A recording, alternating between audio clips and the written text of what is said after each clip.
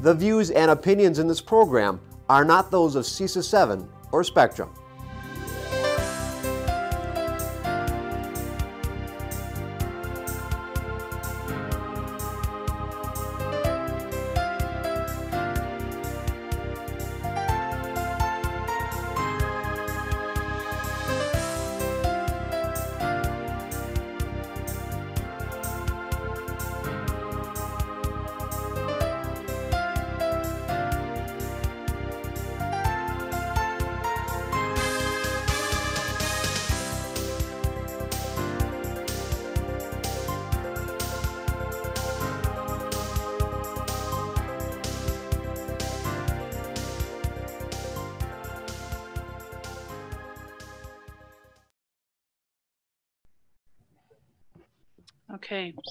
Welcome everybody um, to this uh, September 12th, 2022 um, board meeting, a, a work session.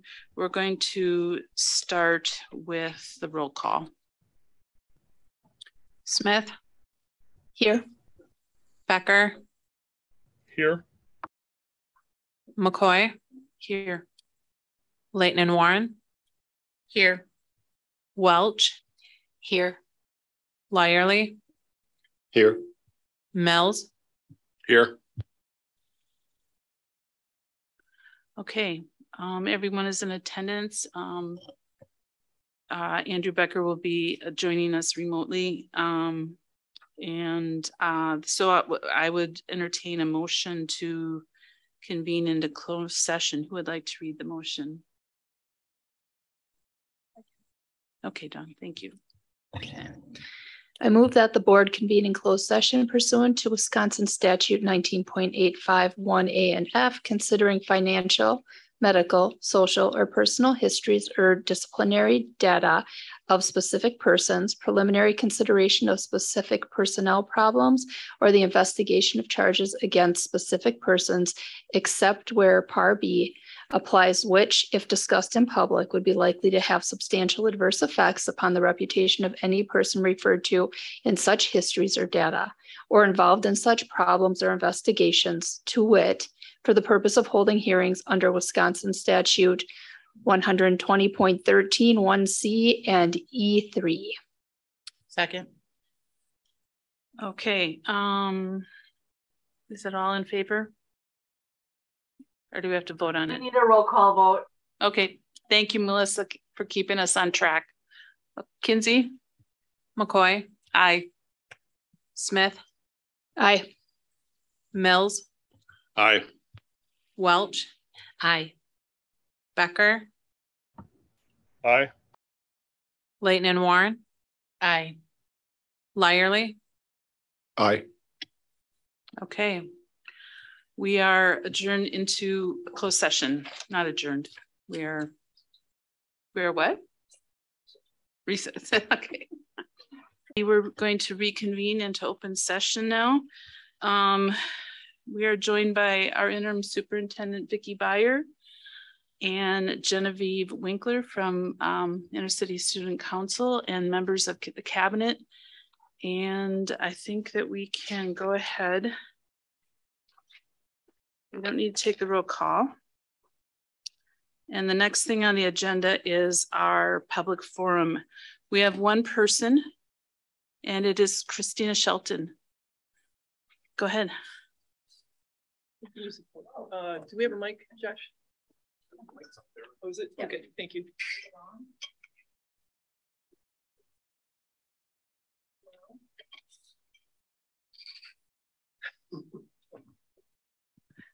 I'm good. Can you hear me? Yeah. Okay. I didn't know I was going to go first. uh, hi, everybody. It's nice to see you. Happy start to the school year.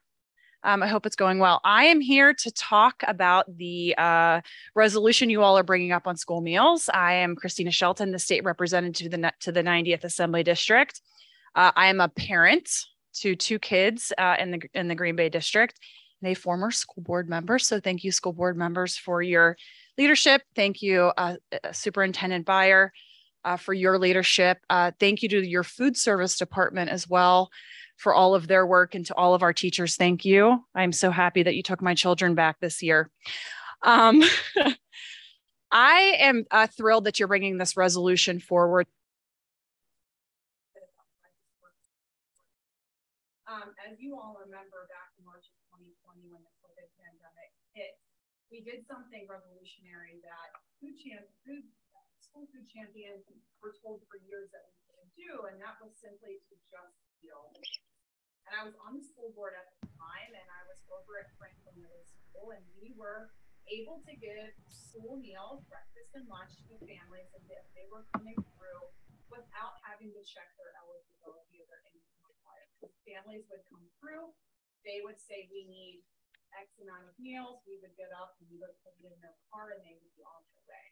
Well, as this program transitioned and as districts transi- transitioned from virtual back to in-person and back to virtual, it gave flexibility for districts to meet the needs of not only their kids, but of their families, but also to work with teachers and food service workers. So what happened was when I was in the legislature. Did we lose audio? Hello, can you not hear me? Can you I hear us, Andrew? hearing- Now I, now I can, but I went from hearing Kristina clearly to almost not at all, just so you know, from this side. Now, Andrew? Do you want to just join at the table? Thanks, Kristina. Sorry. Can you hear me now, Andrew? Yep. Okay. So what happened was we were meeting with farmers and growers and we started to understand the positive benefits of universal school meals. One was an economic boost for our farmers and growers. It was transformational for working families, especially mothers and fathers who are sending their kids off to school. But we also saw the impact on food service departments, food service directors, but also food service workers. So, from that work and actually working with the food service department here in the Green Bay Area Public School District, we built the Healthy School Meals for All Coalition, which in November of 2021 authored a bill called the Healthy School Meals for All Act. This is a bill that would uh, maximize federal reimbursement rates for free and reduced meals, but would also have the state uh, buy into the meal program by providing general purpose revenue dollars to make sure that every kid, every kid, no matter where you go to school in the state of Wisconsin, can have access to a free breakfast and free lunch. From that work, we have built a coalition of almost 100 statewide members. We launched the bill in Pulaski in the Pulaski School District, and we did that intentionally because we want to talk about this not from an urban school district perspective, but from an all school district perspective. Since then, the uh, Sun Prairie School District, I think they have passed a resolution. The Ashwaubenon School District has also passed a resolution. Districts from around the state are joining our coalition. So I am excited that you're going to be having this conversation today to talk not only about the bill, but to talk about the importance of school meals and joining our work because we know we have a long road ahead. The exciting news is that momentum is growing. We just last week, Governor Evers put forward a budget proposal that would provide additional money uh, in the next budget biennium to expand school meals. So we're still waiting on the details of that, but that is a good movement. We also are seeing uh, some movement at the federal level as well. And the coalition is working on that to advance what we'd ideally like to see is a universal model nationally. But if our federal delegation fails to do that, we're going to prepare to take action at the state level for as long as it takes. We're also seeing other states take action too. Just last week, the governor of Pennsylvania announced that he will be implementing free school breakfasts through the rest of the school year states like California and Vermont have also taken action as well. So, what we're excited about is not only that you all are engaging in this conversation, but hopefully you'll be engaging with us in the work over the long term ahead, because we know that it's going to benefit not only, again, your students, but your teachers and your families. This will infuse a significant amount of sustainable funding into your food service department that will help to increase pay for food service workers, expand farm to school, expand uh, investment in, in, kitchens and cooking utensils and cafeterias, but will also remember, remind us as educators and school board members that hungry kids can't learn. We believe in the coalition that school meals are just as important to learning as pencils, books, and great teachers. and we want to elevate the issue and we welcome you into the coalition and thank you for bringing this forward to your school board meeting tonight. Thank you. Thank you, Kristina. All right. Is there anybody else? No. Okay. Then we will move on to um, our next item, which is uh, falls under educa education. And I think Andrew, are you prepared to lead that? I I'm prepared to, to lead. Yeah, I'm prepared to lead, but I think we determined maybe that it was better to to hand that off uh, if the chair is remote, and I'm I'm willing to to do so if someone's willing to to do it. Okay. All right, I'll I'll do it. It, it would be hard to um to uh, kind of monitor the discussion. So, all right, thank you. Uh, then we're going to move on to item four, um, A, and I'm going to actually pass that on to Vicki. Thank you. Thank you. And tonight we're joined by Claudia Henriksen, who is our Executive Director of Student Services, and Katie Selzer. did I say executive? And then Katie yeah. Selzer, our Director of Pupil Services and Equity. Hey, guys. Did you need to do roll call yet? We did it before a closed session. Okay. Thank you, though. Great. Good evening. Thank you for inviting us to speak tonight. Uh, we're here to provide three different things. One, a brief update on the equity, diversity, and inclusion uh, task force work, um, as well as then the proposed core commitments that we've um, drafted. And then lastly, share what our next steps would be with our EDI work. And when I say EDI, short for equity, diversity, inclusion. So in during 2021, uh, EDI task force uh, was developed and it was comprised of approximately 70 community, family, um, students, staff, um, and the demographics were representative of our district. So we brought together the team. Um, we did lose some participants along the way. It was a quite lengthy process and it lasted the full year. At times we uh, had to pause a month or so when after uh, the holiday break, there was a an upsurge of, of cases as well as people were needing a little bit of a break. So we met eight times throughout the 21 22 school year. The first few meetings were to develop the equity purpose statement and equity core values, as you'll see in the noted memo that's attached to the board agenda. And so the purpose of our task force was really to complete a root cause analysis of our data. And our data included the Hanover survey data, I don't know if everyone remembers, in April of 2021, um, we did a survey with the help of Hanover Research and was sent out to all secondary students, all families, and um, all staff. And it was really a survey around inclusion and belonging, as well as some other areas of focus. And then we looked at our graduation data, our suspension data, college career community readiness, as well as state testing and then our ACT scores. And so the first few sessions we really spent analyzing the data or looking at the data, reviewing it, um, and getting in small groups to share our observations on the data. And those were, so next then we took those observations and categorized them into problem statements. And um, we had eight, I believe it was eight problem statements. And from those problem statements, then teams shared um, in their small groups really the potential influencers or causes of those problems. We then identified what those greatest influencers are. So we really prioritized. And then from there, um, drafted the core commitments. And that really, those core commitments would address those, those influencers or causes. So that brings us where we are at today. And then Claudia is going to share with you, and I know some of you have the core commitments in your hands, but just for public as well as those attending tonight. I didn't know if we want to read those. Um, and then she will also share what our next steps would be because really our work is is still much in front of us. Would you like? Would you like us to share those publicly for those that are listening at home? Okay, so our first one is equitable access. And the G, um, Green Bay Area Public Schools will review and revise current processes and practices that inhibit student access to high quality curriculum, instruction, support, and other educational resources with a specific focus on a multi-level system of support and academic planning practices. The second core commitment is a culture of excellence. Culture of excellence.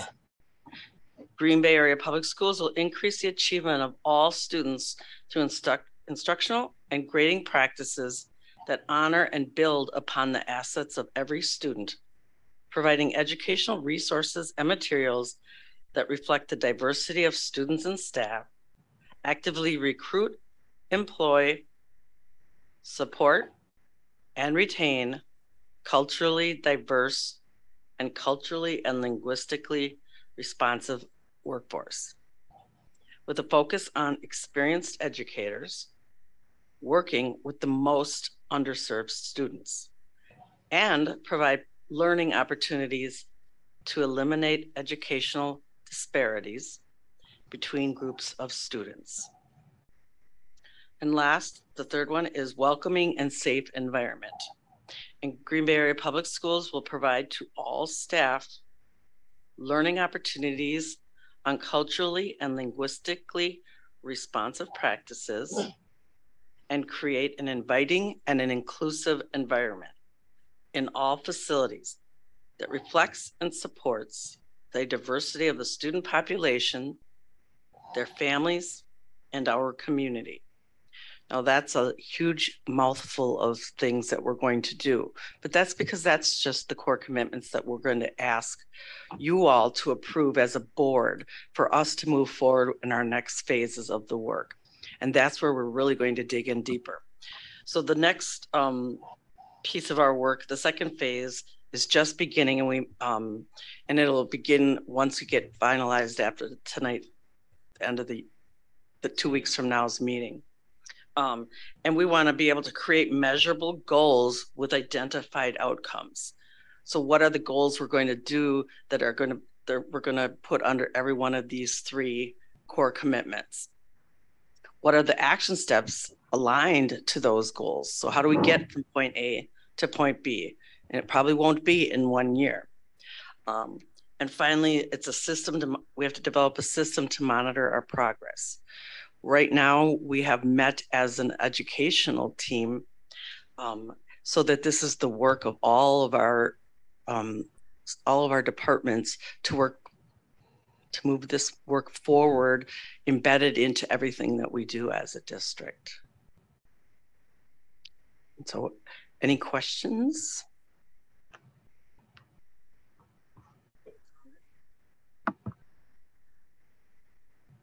I think one of the, um, ahead, Laura. oh, Laura, you had one, go ahead.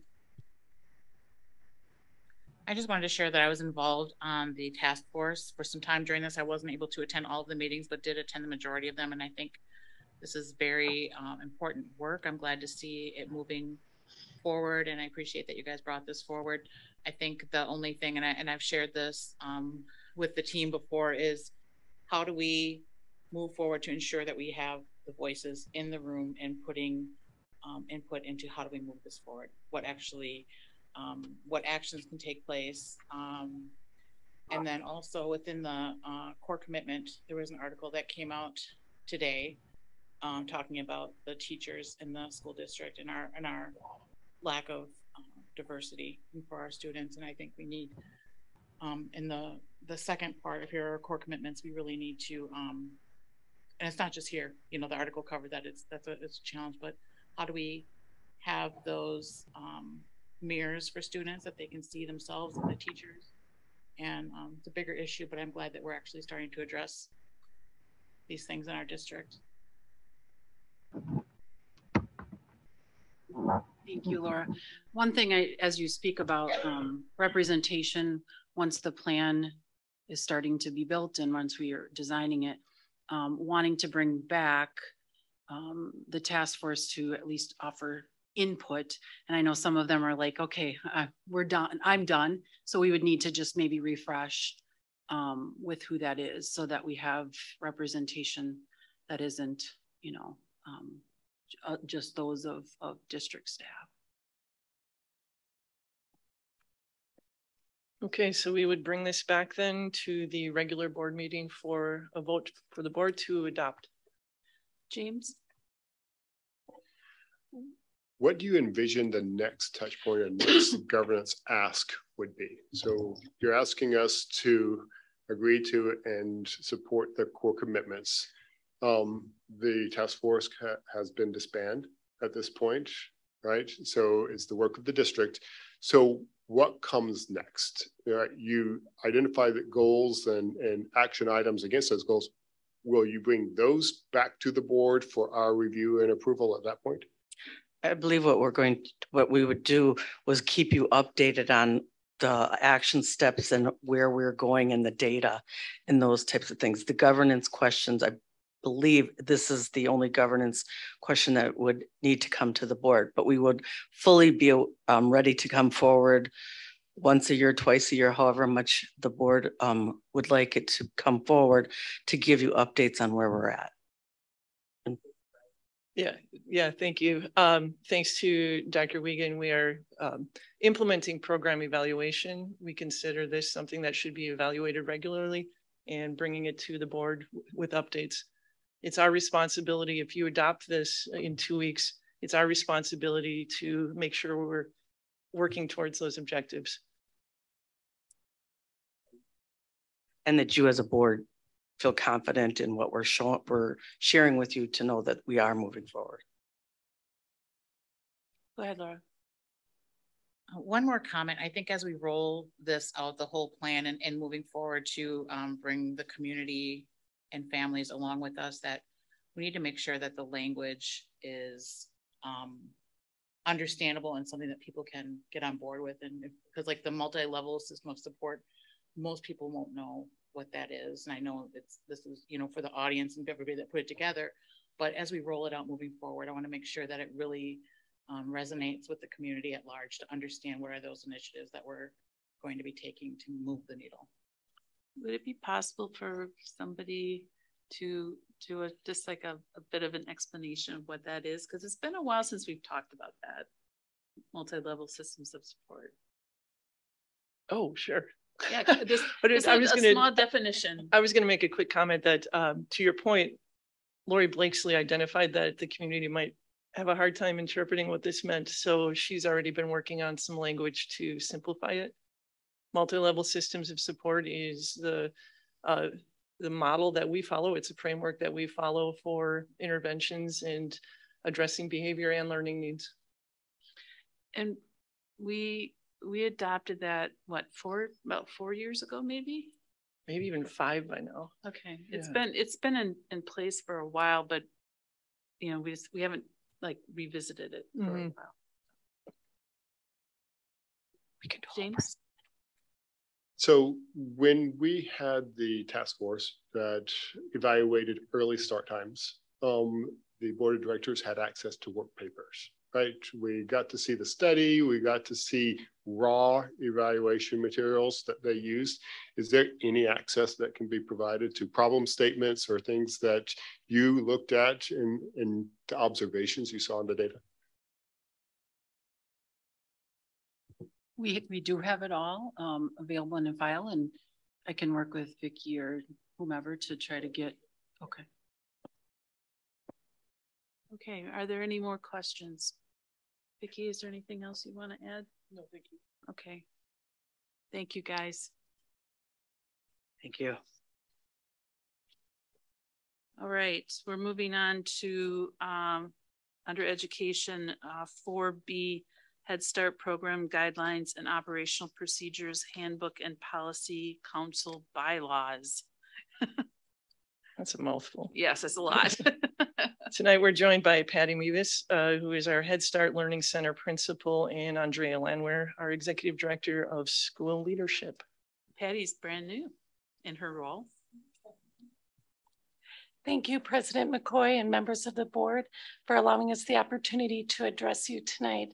I'm Andrea Landwehr. I'm the Executive Director of School Leadership, Development, and Support. I partner closely with all of the directors of Head Start and then the directors of 4K through 12 um, education um, to support the 42 schools in the Green Bay School District. Tonight, Patty Mavis, who is the co-director of Head Start and the principal of Head Start Learning Center located in Bellevue. Um, she's with us tonight to discuss with all of us program and procedural changes um, to the Head Start handbook. Thank you. So I'm Patty Mavis, uh, as Andrea said, the co-director of Head Start with Mary McCabe, and Mary apologizes for not making it this evening. Um, we work closely uh, with Laura Laitinen-Warren and Nancy Welch as our liaisons this year. So we'll be meeting regularly to try to keep them up to date. There's so much to Head Start, so we'll keep them apprised of that. And then, of course, we'll have regular meetings. We'll have regular appearances at the board. The Head Start performance standards require us to update our program guideline and operational procedures annually and share that with our Head Start Policy Council and our governing board, our school board here. In addition to this, we train all of our staff on that. Rather than give you the 120 page document, we give you the updates to what we've done. So for this year, um, we accepted that feedback many years ago. So uh, the on page number seven, we revised our start and our start and end or our start time for the full day classrooms we were starting at 8.30. We've upped that to 8.20. That was uh, through some feedback with parents and staff.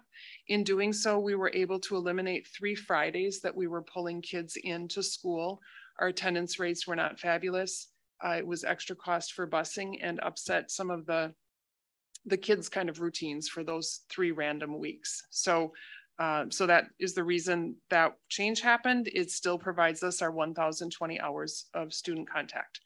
Um, Second revision was removing the reciprocity agreement that we've had in place for many years between uh, Head Start in the Green Bay Public Schools and other um, Head Start programs outside of the Green Bay Public Schools that we've, we've been able to take kids back and forth. But um, in reviewing um, district procedures with open enrollment, we needed to follow that same process. And our outside district where our other Head Starts are located do not offer the same three-year-old 3K programming, so we couldn't um, legally accept kids through that. Uh, another change for us was now that we've settled into Jefferson Head Start with the remodel and we were actually in the building, we were, we were not in it for a little while with COVID, uh, we have moved, it's a, there's more space and it made more sense to have our parent center, which is like a resource center, moved over to Jefferson. And additionally, um, that is becoming our main office. We have, um, we are now also, that's where children, if they ride the bus and can't be dropped off at home, rather than coming back to the Head Start Learning Center, we are moving that over to the Jefferson Head Start. We have a new clerical person. The acronym for it is ERSEA. It stands for Eligibility, Recruitment, Selection, Enrollment, and Attendance. That clerical person is located at Jefferson. Um, so it just made sense to have to have our main office over there. We uh, we fall under the district contract for transportation, and this year our transportation contract includes First Student rather than Lamers East. Uh, that does not impact our budget in any way. So um, we're just getting started with that. Um, we've updated a lunch monitor position description that we have one lunch monitor at each site and that description uh, is reflects more of their, their what they're actually doing in that position now that we're in our own buildings. Um, we've added two items to our selection criteria. The Office of Head Start tasks us with creating a selection criteria to be able to enroll students in our program. And that is based on our community data and our district data. Um, in addition to that, there was new regulations that came out this spring that we needed to add SNAP, which is the Supplemental Nutrition Assistance Program. If families are receiving SNAP, they're categorically eligible for Head Start, which is another way of checking income. We've always checked income through 1040s or um, W-2s. So this just adds another, um, in many ways, an easier way for families to enroll in Head Start. We also uh, have four classrooms where the special education department works through IEP meetings and determines that some students are placed in Head Start as their least restrictive environment. Uh, in some of our new director training, we were learning that we needed to make some adjustments to that. We can't in Head Start hold spots. Therefore, we are allowed to assign points to those students. And if when we assign extra points to those students, then they do qualify and, and are able to take one of those spots. So overall, we, we streamlined the document. Hopefully it, it makes it a little bit easier to read for most people. Um, and that should sum up our changes. Go ahead, Brian. If you could, sorry, if you could uh, clarify a little bit more the open enrollment. Um, we don't accept, I mean, students aren't allowed to open enroll from other districts into Head Start because their districts don't provide that. Am I reading that correct? So we can't open enroll a student who's three by September 1st into our district. And yeah, the um, we're following the district procedures on open enrollment. Previous to that, we fell back onto our reciprocity agreement that if there was a Head Start in Howard, we could take those students. Now they have to they have to fill out the online enrollment. Uh, so a four-year-old in Howard Suamico could come to a Head Start, um, but the three-year-old because they don't have a three-year-old program.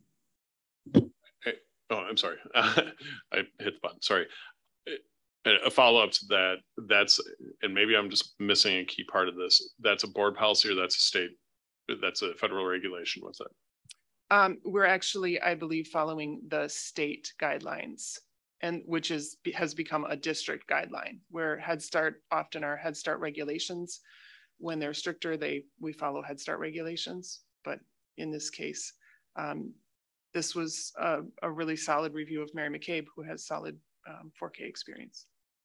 Brian, if I could just offer, I'm sorry, I'm not there, so this makes it weird for me to chime in.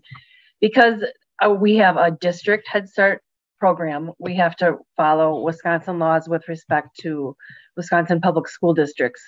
And Wisconsin's open um, enrollment law says that if the sending district does not have that program in their school, then the receiving district, the non resident school, district cannot um, admit the student into it's through open enrollment. So, for example, when um, De Pere did not have 4K for a long time, and so anyone who had applied to Green Bay from De Pere for 4K through open enrollment, we had to decline because De Pere didn't have a 4K program. Now that they have a 4K program, students can open enroll into the Green Bay School District for 4K because no other public school district has a 3K Head Start program, we cannot admit students through open enrollment into the Green Bay Area Public School District. And we had not been following that in uh, previously, and thanks to Mary, that was discovered.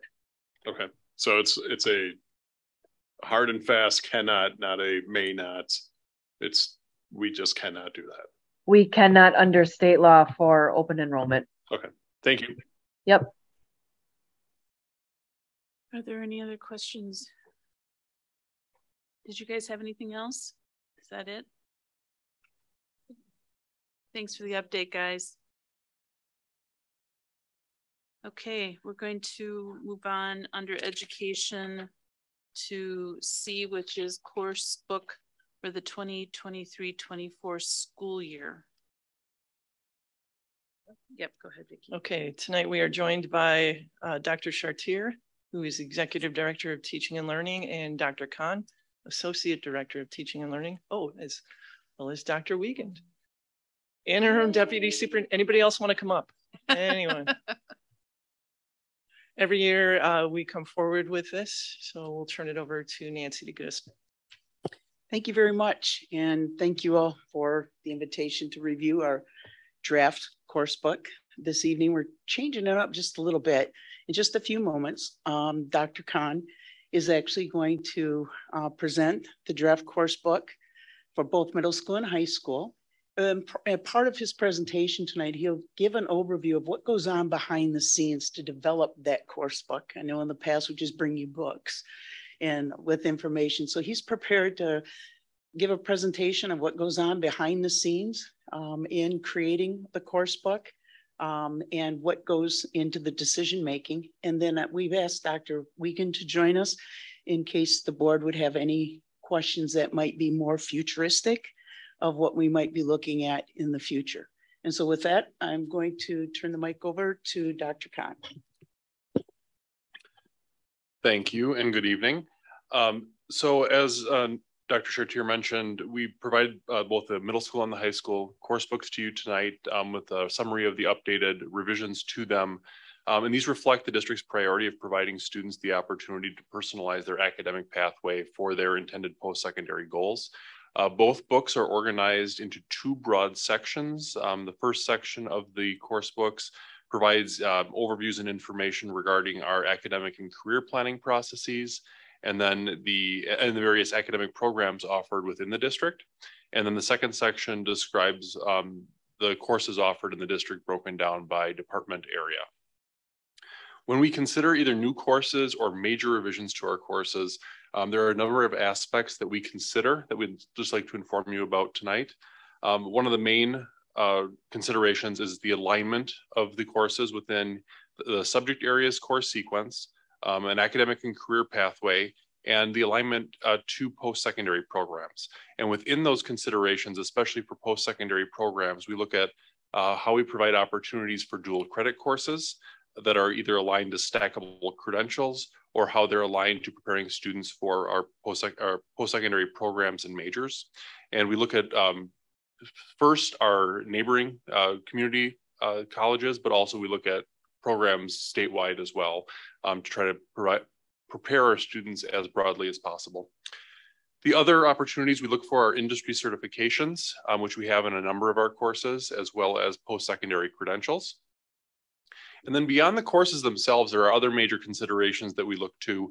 Um, a prime one being instructor qualifications. At the very uh, basic uh, area, it's the DPI licensure required, but depending on the course, uh, the course may require a specific post-secondary degree, a professional certification, and or having required trainings that are involved in order to uh, allow them to teach that course. Uh, uh, thirdly, there are resource requirements, and these aren't just textbook resources, although those, those are considered, but we also consider instructional technology, hardware and software technology, as well as any needed equipment for the various courses. And then finally, depending on the course we're talking about, uh, there may be specific facility requirements we need to consider. Uh, the, the final piece to mention is the work, we do a lot of work behind the scenes with um, the Department of Technology as far as ensuring that the data we have for each course is accurate in order to be uh, accurately reporting to the state for all the various reports that they have publicly available as well.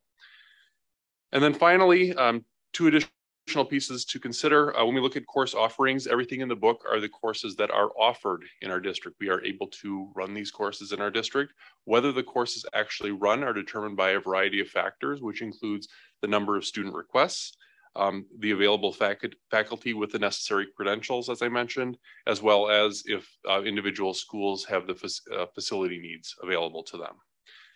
And then finally, the books you're seeing tonight are in draft form. The information in them is uh, accurate, but we do continue over the next uh, month, month and a half to work on design, formatting, wordsmithing um, between now and when we send it for print in October.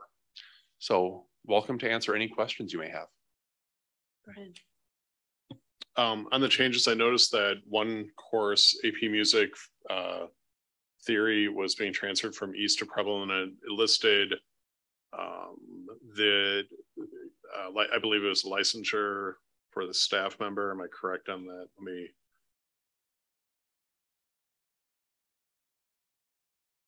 Sorry. Um, due to teachers' academic credentials. So when we have eh, my my concern and question with that is we have a fine arts institute at East, and I don't I don't think it's a good policy to necessarily go staffed on individual people because people obviously leave with that, especially with the program like the Fine Arts Institute at East. Um, what happens if that person from Preble leaves the district for some reason, or we're able to find someone with accreditation um, that would be able to teach the music theory class at East, where we have the Fine Arts Institute. Is there a way that we can work with that to make sure that still happens? And does that happen in any other programs where uh, the Sure, absolutely. And this really deal, ties back to both course, uh, both schools still offer AP Music Theory as a baseline course. So that course as a foundation isn't changing. Because of staffing changes at East, East High School, there was no longer a teacher on their staff to be able to teach the course um, that had the credentials to meet the dual credit requirements. Um, the new hire that they had at uh, Preble High School later this summer did have those credentials and previously taught dual credit for music theory in a different district. So we were able to add that. So to your question of could we add it if the, the credentials came into play, the answer is yes, and we have done that in the past. But when it comes to advertising for our students, um, we don't want to have the course book mislead them onto what is available currently at their building. So a follow up with that, according to the notes, it says it's removed from East and added to Preble due to academic credentials, the teacher's academic credentials. So a student at East, are they still able to take it as a dual credit class and receive those credits, even though it says that it was just removed from East? Uh, they would have to take the class with at Preble to receive the dual credit um, uh, course. The AP side of the course still would be available at East. The student could still take the AP exam uh, at the end of the course to um, potentially earn college credit based on their exam score. James. Uh, Oh, I'm sorry. Why don't you go ahead? I, I, guess I'm I'm concerned with that and the ability, especially with if we have the Fine Arts Institute at East, of finding a way to make sure that that dual credit option is there. Because if it's if it's still being offered within the district that a student doesn't necessarily need to go to Preble for it. And I'm wondering if this happens on a regular basis or I, I hope I'm being clear on it that some students may not be provided the same opportunity at their building when that program had been offered and the district had put some considerable resources into making a fine arts institute and and how we address that as a board to make sure that there's some equity in particular in that program and and other options with it. So. Sure, and that would be the the staffing decisions at the building, at least in this immediate um, uh, instance in the situation. Uh, whether we could do something in the future that is absolutely possible. It's just what staffing is available to meet the college's requirements. Eric, do we force teachers to become certified or accredited to do dual credit? Uh, no, we don't. Do we provide resources or incentives to make that possible for teachers to get dual credits, especially in, in programs with that? It, it depends on the uh, institution we're talking about. Um, the answer, the short answer is yes. Um, that there are programs that increasingly over the next couple of over the next couple of years that will require master's degrees, and there are um, grants available for teachers who are interested in pursuing those credentials. And a follow up with that is that a decision that's made at a building level, or is that a decision that's made up at at the district level? Uh, to which to which degree? I just need some clarification. If a student, if if a faculty member is willing at East to go for that programming and, and offer that dual credit, I'll use AP Music Theory as that because it's been previously offered as a dual credit option. Is it the decision of East faculty, or is it the decision of the district office whether we'll be able to provide resources for that staff member to get the accreditation so we can offer that programming?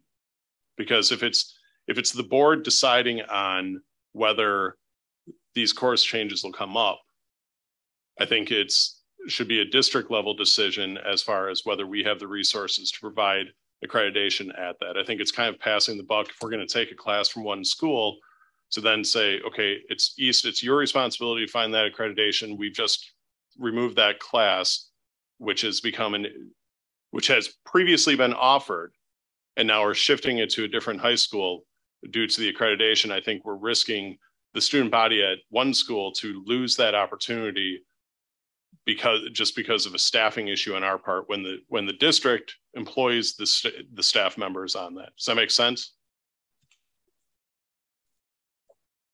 Yeah, it's my understanding that when grants are made available um, at the district level, we provide that information to all of our um, high school staff members. So they can take advantage of that if they'd like to. And we, that's what we've done in the past. I'm assuming we'd continue to do the same thing.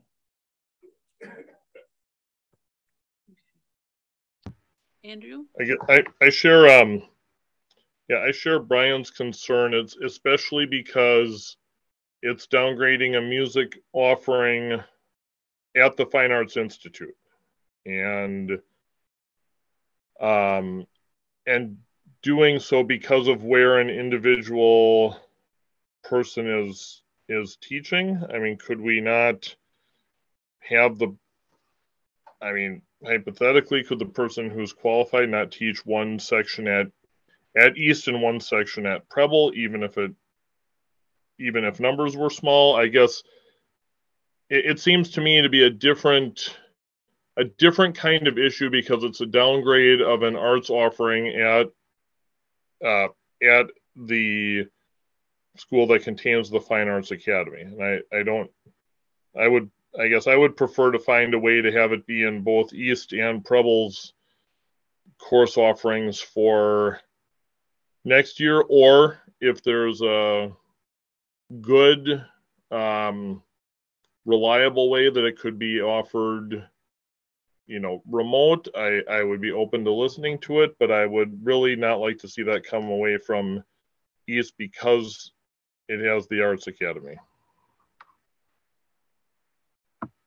No great feedback and based on the comments um, from the board we can certainly as we go through the registration process and taking a look at teaching assignments for next year um, see what we can do to make sure that there is a um, there's enough students at East that would like to take the course that we'd have the teacher come to East and take you know teach the class. Thank you, thank you, Judy. It's James is okay. It's the last follow. yeah, and my and my concern with that is there's going to be students, and, and I'll freely admit my family is one of them that will consider where we open and where we enroll our students specifically based on the Fine Arts Institute and the availability of those programs that are there, as opposed to uh, different high schools within the district. It's a program that we have really built up and have promoted and to have that opportunity for those students, I think it, it may impact some families' decisions on whether they look at one school or another um, with that. So thank you. Go ahead, James. Oh, go ahead, Nancy. I'm sorry. Just going to add and jump in here on here, Judy. Uh, since this is a draft, we still can make changes to it. So we could add to East into the East selection, what you're requesting, and then let it play out in the student scheduling. And then if we get enough students at East, I totally agree with you, you know, to run the course, then we, we certainly would run the course. So we definitely could add that to the course book, it will come back to you anyway for the final approval. So we'll note that you would, I assume that you would like us to add that as an offering in East. Does that sound good? Is that what you're asking, Brian? Okay, very good. Thank you. You bet. All right, James, finally. I almost forgot my question.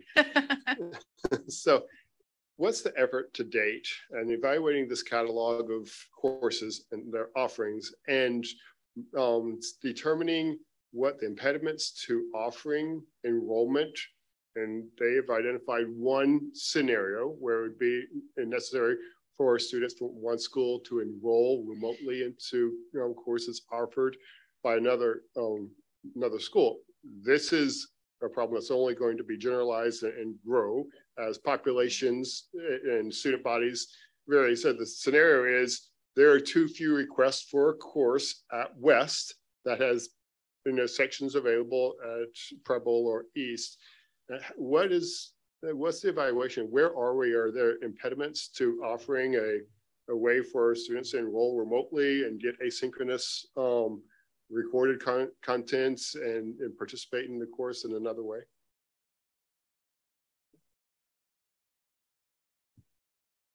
As far as accessing the course in another way, yes, we are in the process of putting all of our courses into um, Canvas, in which we would offer that platform to be taught remotely by a classroom It's a hybrid model because it'd be taught, let's say, in one school, but then others would distance uh, learning join the course. That's that's one option. I think it's fair to say that um, every year we have students that travel from one school to another to just pick up a course. And that's not unusual in Green Bay. But yes, a remote option is something that we're working diligently on this year. As you know, we just purchased Canvas last year. And that the whole, that's what we, we ran some uh, pilot programs on that uh, this summer and had great results uh, to the point all the teachers want it, but I'm not sure it's in the budget. so we are going to do the 15 required courses. So uh, that's the nature of the request. To the board, is there a way for us to understand what it would take to get from point A to point B and, and offer a, a, an array of courses for remote enrollment to help us manage as we look at deficits and ways to make cuts with without removing services to our students, right? We, we don't want to impact their education. So uh, as, a, as a strategy going forward, I, I need to be informed of what, what's, what's necessary to make that actually, you know, doable. So. Uh, th thank you. That's an excellent question. What we can prepare for you is a detailed plan of the exact courses based on the request, the student request but also it will probably take us two years to get all of the courses and get, uh, shall I say, to align for what the students are asking for and all the, we'll have all the courses and we're starting with all the ninth grade courses to begin. Um, but the goal by the end of this year is to have all 15 courses that are required for graduation to be available online. But we certainly can prepare for you a, a I would say uh, three-year plan, uh, five-year plans make me a little nervous because it changes so fast, but certainly can do a, a three-year plan for you. Okay, anybody, go ahead. So as a follow-up to James' question on that, um, when students are able to enroll, if, I don't want to give a lot of ifs and whens on that, but if a student was to enroll and take it in a hybrid model, is it async is it at the same time like are they able to join in with classroom discussions? And does the bell schedule play into that? So you know if they're offering language arts 10 at second hour at west and a student from east is in do the bell schedules match up on that? Or is that something that would have to take some creativity with offerings and availability? So students aren't necessarily driving across the district but we could figure something out yeah, we have been trying to do that, but you're right. It is a challenge when we have um, four comprehensive high schools and three are on a traditional schedule and one is on a trimester schedule. Yeah, so that has been um, probably one of the biggest challenges. Um, we've already been doing uh, some um, for example, at our middle level and trying to provide offerings in French, for example. And we can't find French teachers and offerings. So being able to have students join the class at another school has been really helpful. Um, I know in talking with staying with the world language, Spanish is another area we're struggling in finding instructors. So can we build that course, place it on Canvas? And it would be both. Can they join during the day as well as then being convenient for a student schedule? Maybe they need to join it at another time and take the class asynchronous versus taking the hybrid. So I think we're keeping it open to different options that are going to meet the needs of the students. I would imagine the numbers of students that are requesting that are not huge and the motivation factor of a student to go into that will alleviate a lot of the other factors of I'm logging in late or I'm, you know, the the determination of the student to go through those extra steps will help um, make it a little easier. So. I'm sorry, I, I just quickly, I should have addressed uh, to your question next year when the course books comes, the course book comes before you, there will be online hybrid options in the course book for students to select. So then we'll get the ball rolling as to the exact number of students and what courses they're most interested in. But the stage that we're at in our work right now is working um, diligently with our staff because they write and create the courses. And so we're working with them in creating those uh, 15 required courses, but they will all be in the course book as what we will have available for students to sign up. So right at registration, we'll know which students are interested in taking a hybrid course versus a face-to-face. Okay. Well, we have an actual student at our table. Did you have any questions, uh, Genevieve? I think um I have a question about just kind of it feels like a little bit like you're kind of picking and choosing which schools dual credit is going to be offered at particularly with AP music theory. Because like as a student involved in a lot of like band activities that's dual credit is something I would love to see um, at all schools throughout the district. And I know that it's really difficult to find teachers especially now. But I think kind of just cherry picking which schools you're going to focus that on isn't really fair to the district as a whole. So is there like any way to resolve that? I'm sorry. I, don't think this is really about cherry picking. It's about the staff being qualified to provide that for dual credit. Um, I, I, suspect we've done everything we can to make sure we can offer as many courses across the district as possible and provide that. Are you a problem? No. Southwest, okay. I, I think the team is does everything they can to provide equal opportunities across the district. Um, do you have a thought about the hybrid option? Do you think that would be something that could help in the future? Right. Thanks, Genevieve. Go ahead, Brian. in regards to, uh, I've had staff members reach out to me, um, and this might not be the the discussion point. So, um, over the availability to teach certain classes that have happened in before that they've offered, and they've been told they won't be able to offer it, even though it's still listed in their in the course selection guide. So the draft that you've given to us, we shouldn't assume that there'll be other exclusions of classes that are offered in there other than the changes that are being set now, dependent on enrollments and everything, you know, the, the criteria that you had before with it. Those classes will be offered pending facilities, everything else, and, and most importantly, the registration for the class. And does that become a building level staffing? Like if I want to teach and I'm licensed to teach three sections of one class, that's a principal decision as far as individual course loads and who's got what classes on there. Okay, thank you. Okay. Go ahead, Don. The um the IBSL chemistry, is that a two-year class or a one-year class?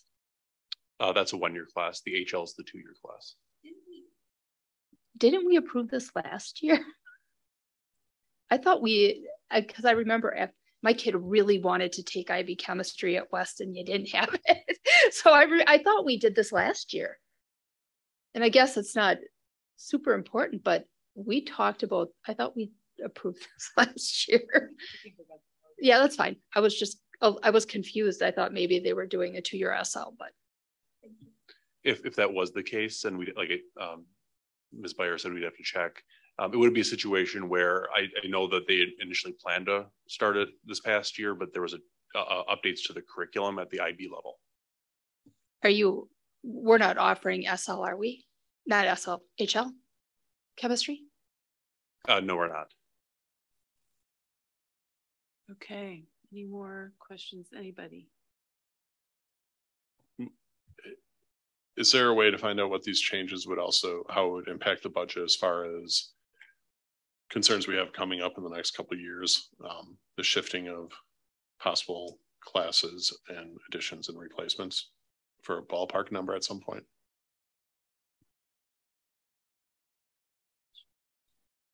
trying to think of how we would do that.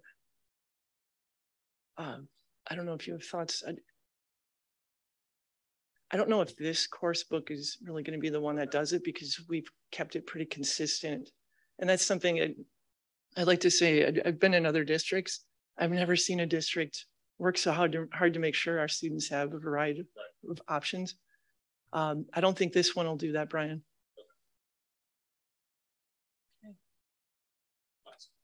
Go ahead.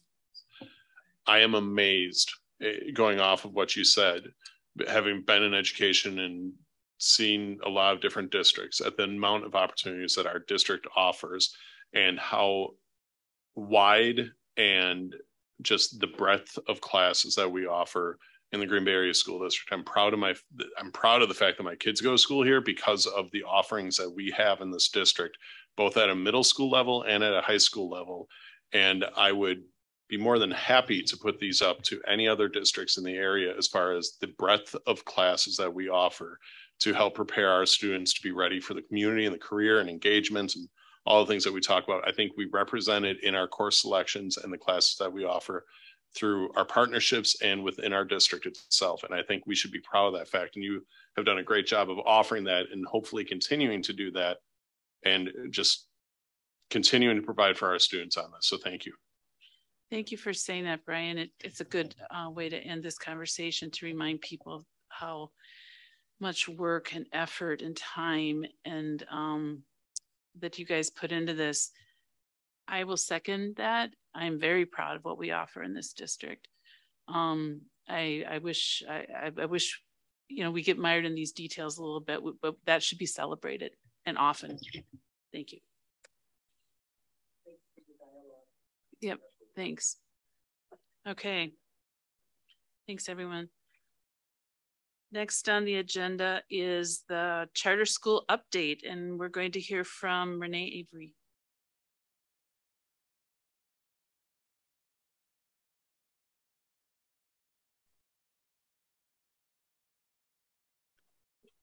sorry, Renee is our Director of Innovative Schools, and this is something that we bring to the board every year around this time.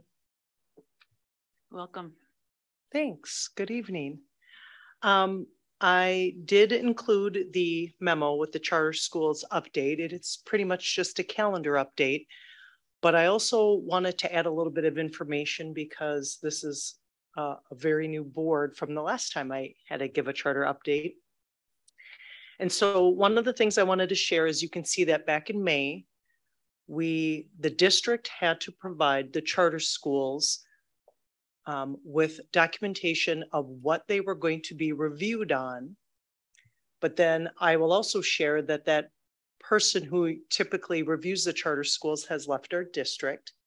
And so as the authorizing liaison and in um, communication with Vicki and with Judy, I asked if we could form a committee instead of having just one person. So I'm working with, it'll be myself, uh, the legal department, um, teaching and learning, and someone from community partnerships, because that's very important in the charter schools. And we are developing a review based on the contract and what it says that they are going to do. We're also kind of creating a template so that when this comes up again next year for JDAL to start this whole process, that we'll have something that we can follow. So um, in this memo, if you have or haven't had a chance to look at it, but you can ask the questions. Um, in that memo, um, that is what the committee is working on to, to provide or to make that review. And then the goal is to finish that by the end of this month, because then NEW, and this is only for NEW right now because they're the ones who are in their four, starting their fourth year. Um, at the end of October, they are supposed to provide all the documentation necessary, again, pretty much to say we are doing what we said we're going to do according to the contract. Then we have then quite a bit of the school year for the committee then to go over all of that and assess do they have evidence that they are going to do or that they are doing what they said they're going to do. And if they don't have evidence, then we provide back to them suggestions about what they need to do. And then they have next school year, a half of a year to uh, not only prepare a plan for how they're going to do that, but then to start doing that. Um, while that's all going on, you will be seeing um, an authorizer report on a consent agenda item, just so you can kind of see how things uh, have gone for the charter school in data for both charter schools. And uh, in February, a mid-year report will be coming too. And then in March, we will come back to present to NEW and the governance board, which I attend those meetings to, um, what they need to, I'm sorry, a written report of what they still need to do for the contract. And then in September, they will provide to you a plan of how they're going to make up for any areas that we felt they didn't have enough evidence. I also want uh, just to give you that reminder, and I know you all know, but it, it'll be kind of different for them. Uh, when I look back for JDAL on their first evaluation, they did a self-evaluation. That's pretty subjective. And of course, you're going to say you're doing well. And we are not doing that for them. But also, the school had an entire year where it was pretty weird with COVID. And so there are something they might have more th- more items that they're going to have to be working on uh, to prove that they are doing what they set out to do. So I just kind of wanted to go over that and then see if you had any questions about the charter schools or this memo. Go ahead. Oops, go ahead. Well, and plus they've made this great big move now besides, and it looks really good out there. It was a, I had a tour and it was wonderful. So Thank you. It's it's been an exciting move and we're still having growing pains out there, but they're fun growing pains. So I appreciate that you were out there to visit. Any other questions? I can't believe NEW is in its fourth year. I mean, gosh, I mean, it feels like that was just yesterday when that was um, taking off. I know? find that COVID does that about a lot of things. It's like yeah. two years are gone. Yeah. I was able to visit your new facility as well. It's very exciting. Yes. There you. on the first day of school too. You had some real fun stuff going on out there. So we we did. It was great to have the kids walk through a limo and walk on the red carpet and yeah. have staff from both our school and NWTC greeting them as they came in the doors. Yeah. So it was a wonderful way to kick things off. Thank so, you. Go ahead, Brian. I've spoken with a couple faculty members at NWTC, and they are also excited just to see the partnership, how it's growing, as far as just the engagement in the community with both institutions. And so, from that side, I'm hearing some positive stuff as well. So, I, I, I just want I appreciate to second that. you Thank again, you. and that it was. I talked to a couple the first day of school too. Like you are very wanted out there. Like they're really happy to to join, have you guys join them uh, out there. So yeah, that's really nice. Thank you. Yeah. Thank you. Anybody else? All right. I think that's it. Thank you so much. Okay, now we're going to move to operations. And under operations, the first item is the strategic budget planning update, and that will be Don Smith. And that's going to be Vicki. Oh. Thank you, Vicki. Does that mean I pass it on to someone else now? Is that how we're doing that? Genevieve, can you take this over? okay.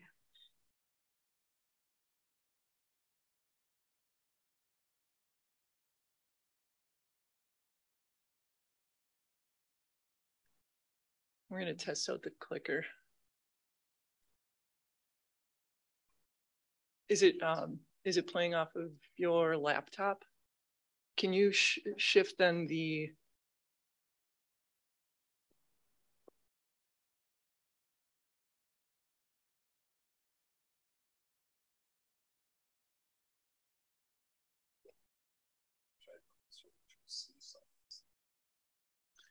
Yeah.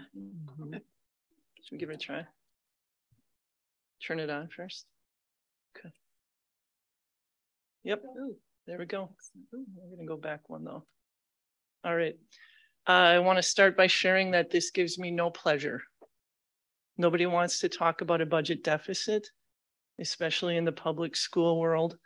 Um, nobody on the team finds joy from this, but we also recognize and understand the importance of being honest and forthcoming and address this as a community.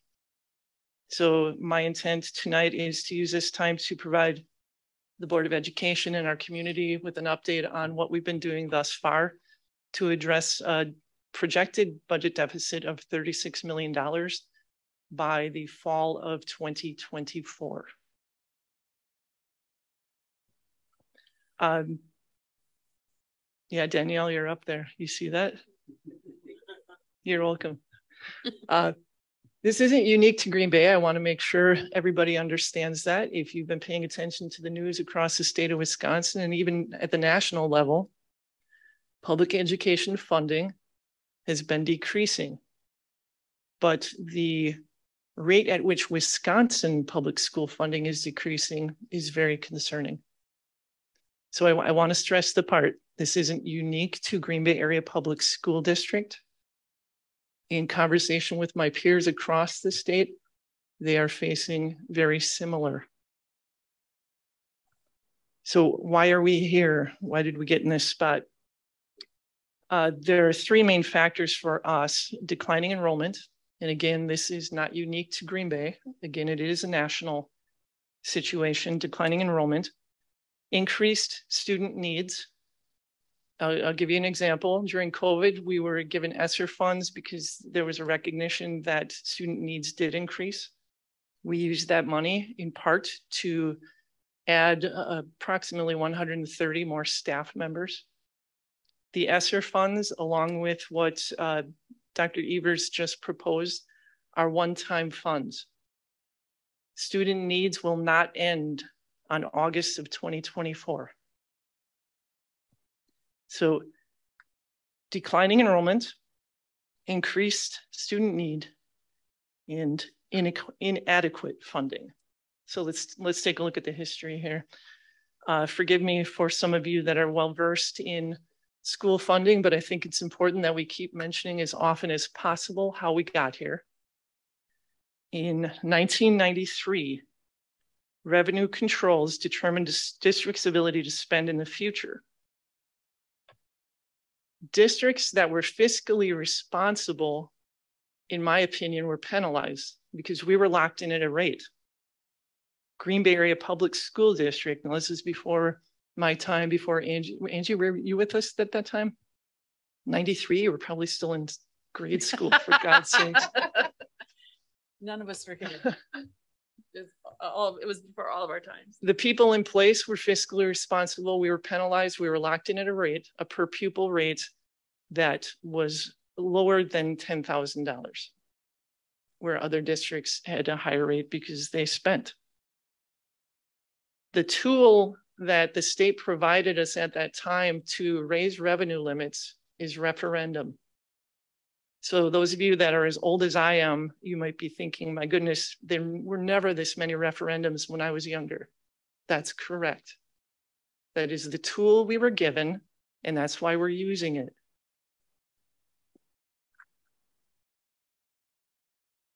State funding had also included inflationary increase to per pupil until the, the 09-11 budget. At that time, uh, they made a change at the state level. And this chart demonstrates, the, the board has seen this one before, uh, the actual, actual inflationary rate that we were provided as the school district compared to what it should have been. And that's millions of dollars that stayed in Madison and did not come back to Green Bay the 21 22 school year. Is it 21 22? Yep, in 22 23, we received zero dollars per pupil for inflation. If the budget, just to give you an idea of how much we're talking about, if the budget had been adjusted in the last two years for inflation, that would have been an extra $300 per pupil. And for our district, about 14 million uh, for the two years. For the two years, good question. Public school funding has not kept up with the cost of inflation. Uh, in this graph, you'll see uh, what inflation, if it would have kept up, that's the blue line, and the orangish line is the actual.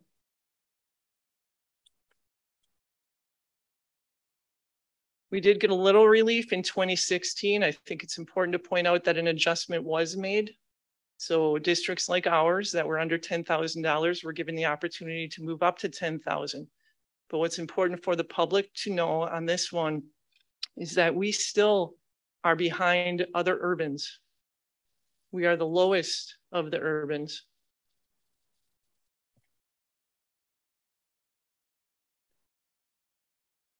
In addition to funding that hasn't kept pace uh, for, in addition, funding hasn't kept up with pace for uh, our specialties, so special education, uh, English learners. The reimbursement rate for special education in 1980 in the state was 66%. That means 60%, 60% of what we spent for special education needs back then was reimbursed. Today, now on here it says 30, but Angie, it's actually less than that. It's 30 if we're lucky. It might be 29. While at the same time, private schools are reimbursed at a rate of 90%. Now, Claudia, correct me if I'm wrong on this one, but I'm pretty sure that we actually hire staff, full-time staff, to provide special education services to our private schools. Correct? I think it's important for the district, uh, for the board to know this. Uh, we hire a full-time special education teacher and a full-time speech and language pathologist for specifically for the private schools. We also have a full uh, evaluation team, special education evaluation team that we pay for for the private schools. This is a federal mandate. So we do all of the identification testing. And uh, did I miss anything on that one, Claudia? Making the determination if they qualify for an IEP. Okay.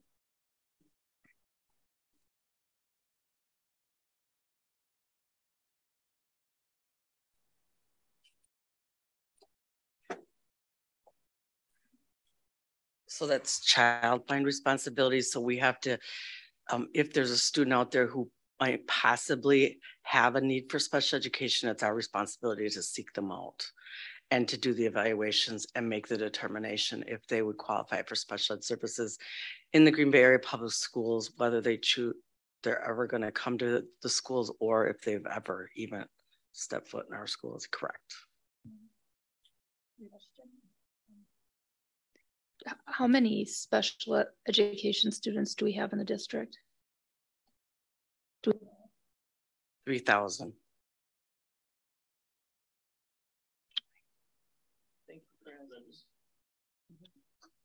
So I just want to clarify, and you said it, you know, for the people here in the district, but I just want to let the community know what you're saying is that the Green Bay School District hires a special education, at least one speech language pathologist, a special education teacher, and we identify whether students would qualify for special education services for the private schools.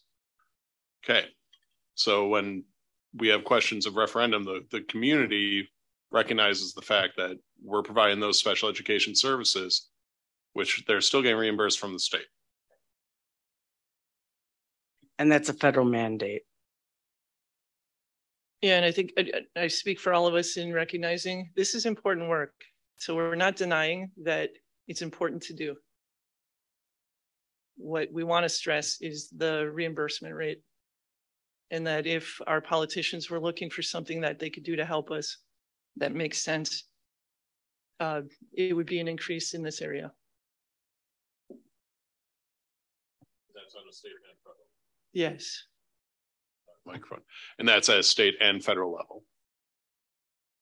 That's correct. And um, I know Ms. McCoy and Lori Blakesley have been doing a lot of outreach, uh, not just to state legislature, but also at the at the national level to try to get some movement in this area.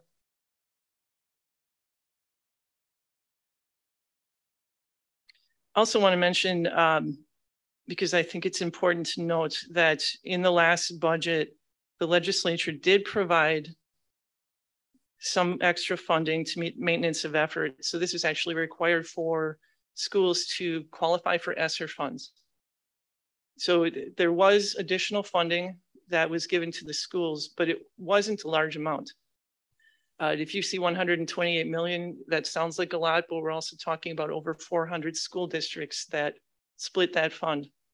The remainder of that funding, the 553 million, went to property tax relief. Now I'm a homeowner, so thank you. Awesome. Uh, but our school districts need it too. Did I get that right, Laurie? Okay, so that was the background on why we are where we are. What are we doing as a district to address this? Um, over the next two years, we will be utilizing ESSER funds. So I, have said this before, and again, and I'll mention it now. Our finance department projected out where we were, where we were headed. They were wise in the decision to put funds aside that will get us through the 22-23 school year and the 23-24.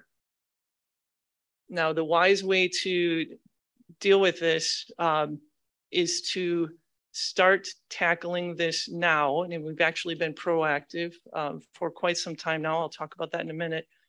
We don't want to be in a position where it is August of 2024 and now have to make some pretty significant decisions. any reductions that we can make now uh, to decrease the, to decrease the overall reductions uh, will be beneficial. It spreads the reductions out over a two-year period of time. It provides some stability and the time needed to ensure that what we're proposing for or reducing has the least amount of negative impact on student outcomes and our thriving workforce. I already uh, briefly mentioned the extra funds that Dr. Evers uh, proposed. I think it was last week or maybe two weeks ago. It was 90 million uh, for our district. That means uh, 1.8. But again, this is uh, one-time funding. We do appreciate it. We'll use it, but it's one-time funding and uh, does little to address our overall structural deficit.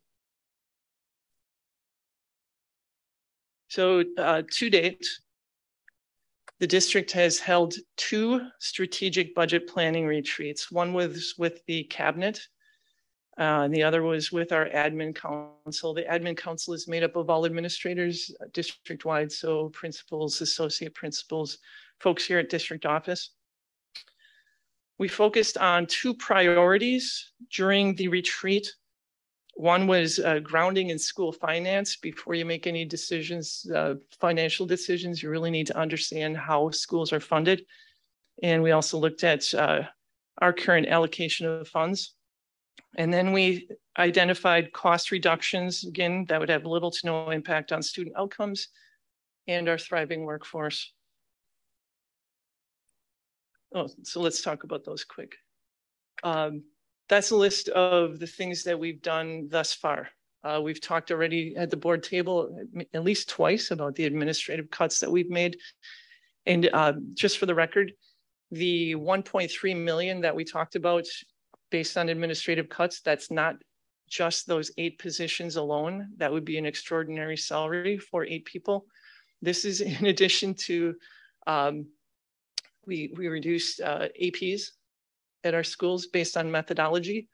And we also converted some administrative positions into non-administrative. So that's how we got to the 1.3 million that you had asked about, Dawn. And I, I think I mischaracterized it to make it look like it was just those eight, but it's it's more than that. Uh, we've we've made software cuts. We had cell phone stipends. All of our faculty, uh, staff, administrators that are expected to be on call 24 7 uh, we were paying them a $600 stipend to do that. We've eliminated that. We've reduced our vendor contracts. We've reduced our hotspot fleets. We are bringing our graduation ceremonies back to the schools. Uh, we already talked about lunch trays, going to the cheaper model.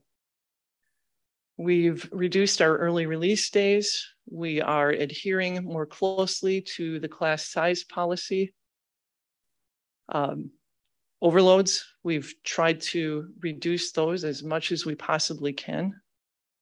And then I had mentioned uh, we're working on methodologies for all work groups to ensure uh, not only equity, but uh, to help us make some difficult decisions. Mm -hmm. Can I ask you about the overloads? Okay, so a teacher generally gets an overload when there's a class that needs to be taken. Okay, so let's say you had, is it five classes that they they're required to teach in middle school? Like, who knows the number? Yes, five. Okay, so then let's say that they're they're short a social studies teacher and they're qualified. So can't to pick that one class up wouldn't that be more beneficial than having somebody come across? Do you know what I mean? Because you lose an hour with the transportation and stuff. So I was, some couple people asked me about that, and I can you just give me a little more on that? Yeah, it would. Um, and Judy can correct me if you need to, even if it's from afar. Um, we've been pretty liberal with overloads, even if the class sizes were under 20. So um, we're trying to tighten that up, Nancy. Oh, you're actually, it's more of a class size thing then that prevents the, okay. See, I was thinking that if an overload was needed, that it would be just cheaper to do it that way then. Okay, all right, I get it. Judy, good? Judy, am I good? Okay. uh, um, this is no secret. Uh, staffing makes up for 80% of our total budget. Angie's mentioned this to you anytime she's come forward with budget information. Uh, that's for salary and benefits. As we work to align staffing with our declining enrollment, reviewing all vacancies that come up. So through attrition, um, we look at, is this a position that we absolutely need to fill? Or is it something that we can put on hold right now? Or is it something that we can actually eliminate? The total number of staffing reductions will that we will need to make over the next few years, frankly, is going to be dependent upon our ability to cut in other areas. But when 80% of our budget is staffing, uh, it's certainly something that we need to look at. We are monitoring the number of positions on a daily basis. And at this point in time, in fact, I think it was just this morning, Josh, uh, this dates to last year, we've had a reduction in overall staffing of 105 FTE. And uh, full disclosure, which I shared with the board in the memo and for the public now, that does include 42 positions that are posted and just not filled at this time. Those aren't just educator positions, but it is 105. Attrition, uh, evaluating those positions through attrition is key.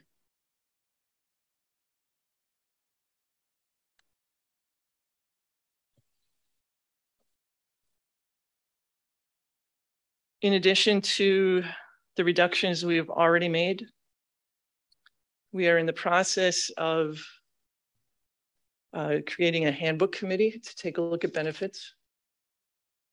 The board will be involved in those decisions at some point. We currently have a stipend and rider committee taking a look at um, where we give them, why we give them. There's some inequities that we need to address with riders and stipends. We are taking a look at uh, presenteeism might be a new word for some of you. Um, we'd rather focus on the benefit that our kids get because they have high quality staff standing in front of them in a classroom uh, versus them being absent. Last school year, we spent $4.6 million on substitutes. Now, COVID played a role in that. This year, we've set aside uh, two to three million so we're hoping for a substantial reduction. But part of that is we need to make this a great place to work. So the board, we've, we've talked about professional workday and what that means. Uh, we think that doesn't cost us anything to treat our educators like the professionals that they are. And we hope that as we implement that fully this year, that the staff recognize how much we respect them and appreciate the work they do for our students. And in turn, we hope that increases their presenteeism. We are in the process of a district office uh, identifying a program evaluation model along with a cycle of evaluation. Um, every successful school district does this, and Dr. Wiegand has taken the lead on making sure we have this in place. This coincides with a review of career pathways to ensure we're providing our students with relevant courses that support their post-secondary options. Class size is under 20. We have some that have to run because of special education needs or English language learner needs. This is something we really need to focus on. Last school year, we offered at the secondary level 580 courses under 20 students. Uh, we've worked really hard to start reducing that, and we're down to 353 at this time. But I think it's really important to make sure everybody understands what that means. Classes under 20 uh, are luxury and reducing them means uh, impact on budget. We also need to consider early retirement incentives like we did last year. Um, we asked staff to identify early on, I think uh, as early as November, um, okay, uh, to let us know if their intent was to retire at the end of the year. Um, that gives us a better handle on attrition and which spots do we need to backfill and which ones can we not fill. We also need to be prepared in the event that layoffs are needed. We need to be prepared for that. So the, the district team is going to be working with GBEA to ensure we have solid language in the event that we do need to move towards layoffs.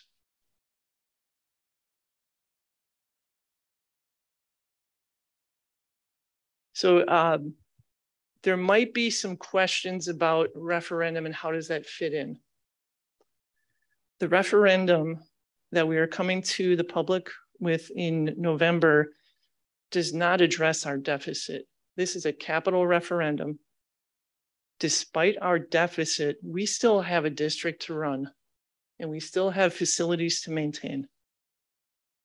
So this referendum uh, addresses delayed and deferred maintenance that needs to be done.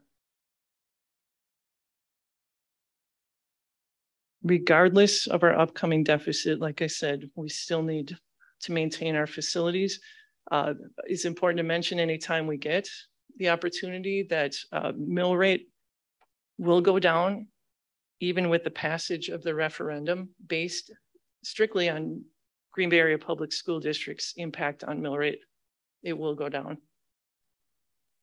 We're focusing the majority of the project, projects on the secondary level. That's purposeful because the board in 2023 will receive the facilities master plan along with task force recommendations. And most likely those recommendations will impact our elementary schools. So the goal with this referendum, uh, the facilities master plan will to allow the district to gain operational efficiencies. We want uh, you know, I think it goes without saying, but I'm going to say it. We want to make sure that we have facilities to be proud of and that our kids deserve. This is a draft timeline, um, subject to change, but right now this is the plan. Uh, this winter, we want to hold two more retreats, budget retreats. One would be with a district group made up of staff from all of our groups and the other for the Board of Education. so we can publicly demonstrate the whole process. Uh, we would focus on the two priorities again, school funding uh, and how we allocate our funds. So a little deeper dive than the board has seen in the past. And then um, start with the discussion about what, what are opportunities for reductions. Through February and March, a task force will convene to review the facility's master plan. And then the goal is to have that plan presented to the Board of Education in April. So this will all tie together. You will get the facility's master plan recommendations from the task force, along with recommendations on potential areas to cut.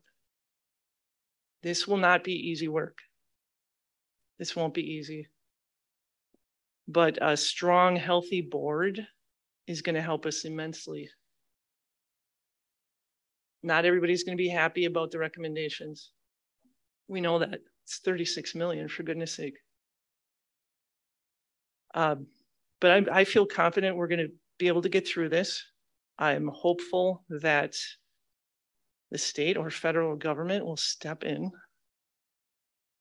Anybody else hopeful there? Or you can just look at these kids, right? It's the reason we're here. It's the reason we're here. Yep. All right. What questions do you have? James.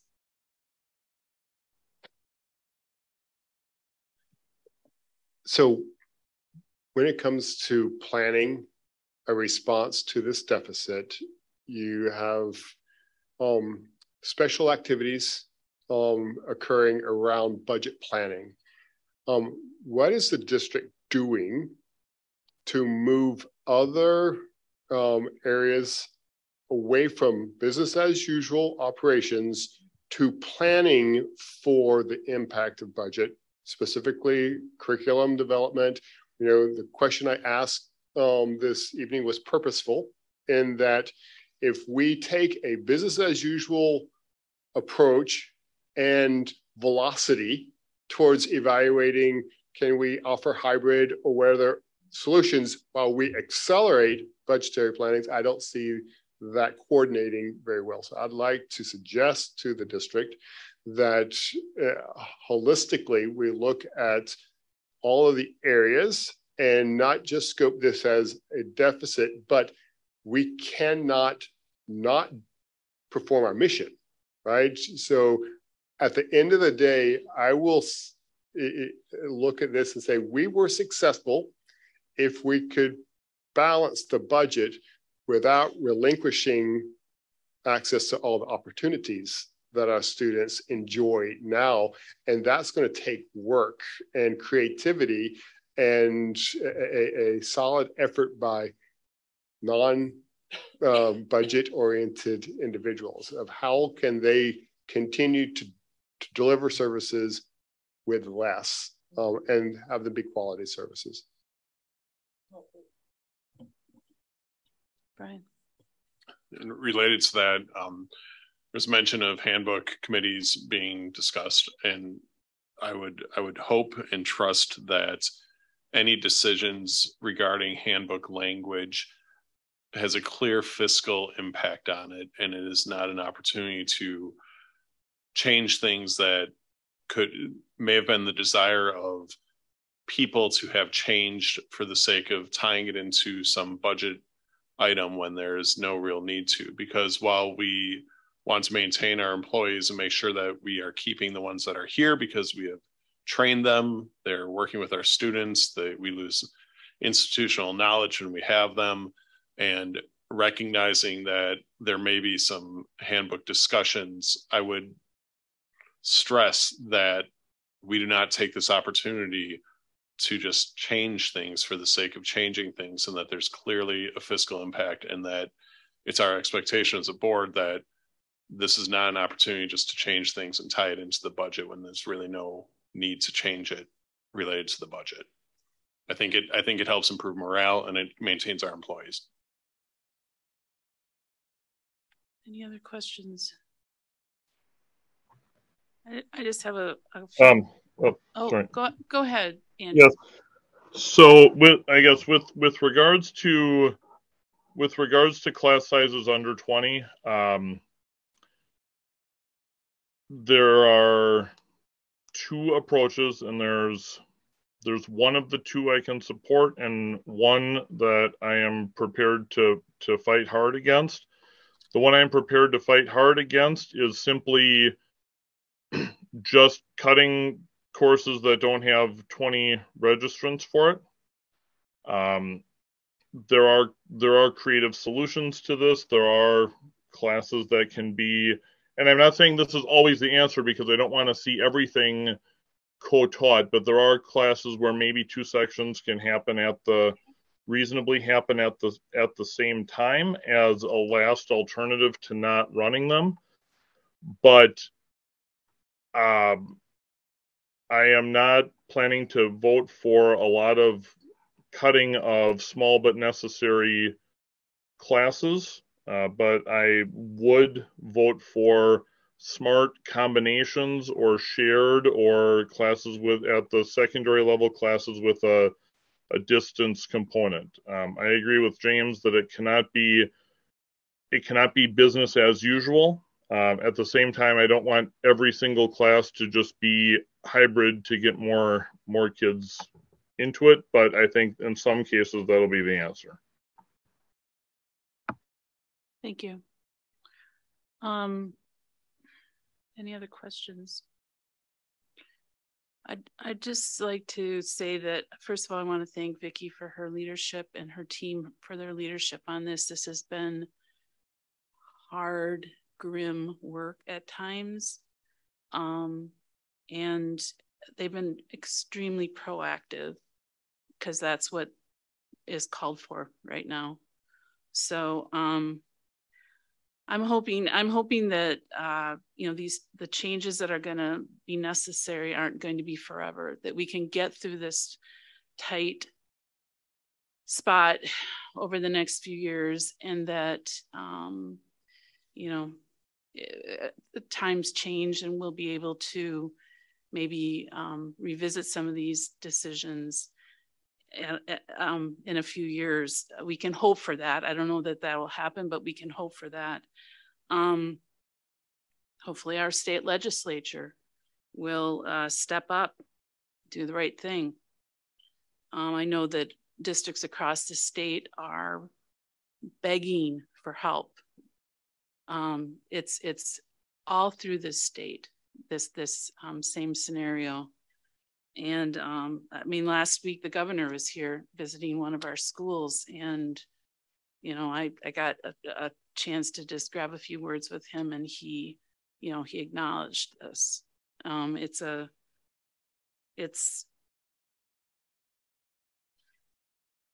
the state legislature could fix this, and they're choosing not to.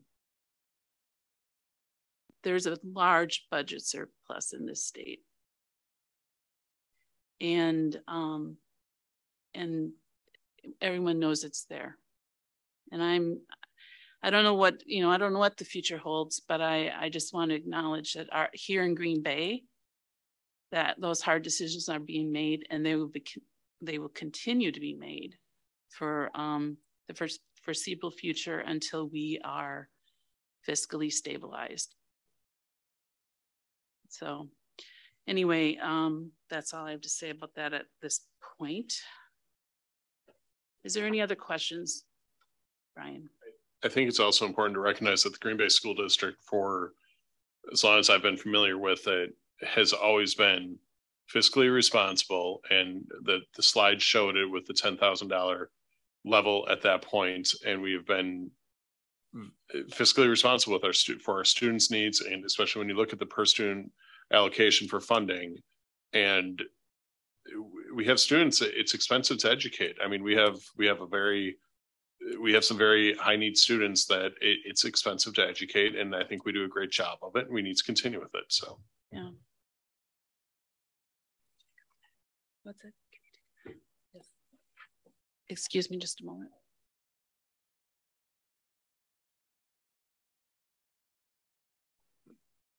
Melissa I'm here. Would it be okay for the board to recess for ten minutes? We make a motion? Yep, go ahead. I'd Like to make a motion that we recess for ten minutes? Second. Yeah. All in favor? Aye. Um, I think it passed, Melissa, so we're in recess for ten minutes? Thank you. Brian, can you just give me a call on my cell phone? Yes. Thank you.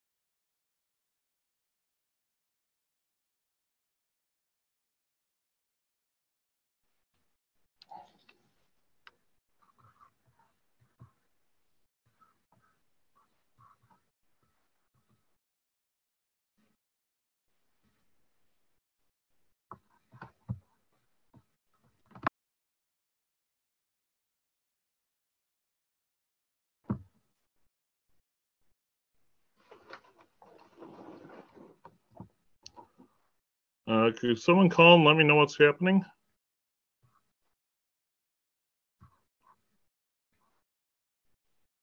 Andrew, we're just signing a recess. Um, we'll let you know.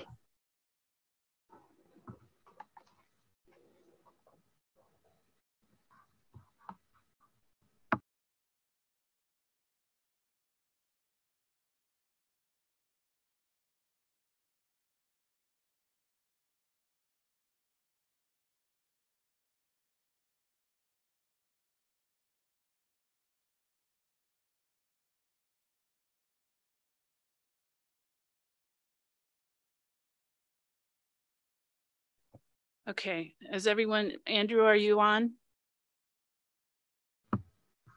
I'm here. Okay, I would entertain a moment to adjourn, or a, mo- a motion to adjourn. Second. All in favor? Aye, we're adjourned. Aye.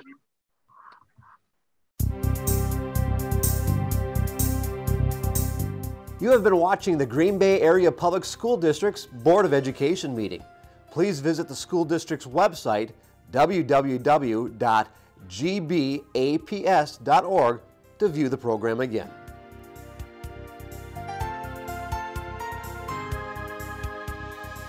If you cannot fully access the information on this video, please let us know the accessibility issue you are having by calling 920-448-2025 or by email at communications at gbaps.org.